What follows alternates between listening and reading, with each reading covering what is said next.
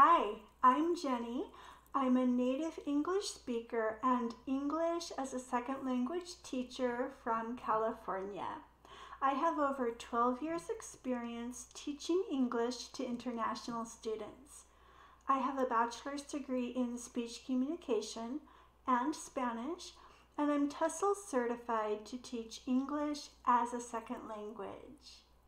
I work with beginning, intermediate, and advanced students who are ready to improve their skills with a regular schedule and consistent practice.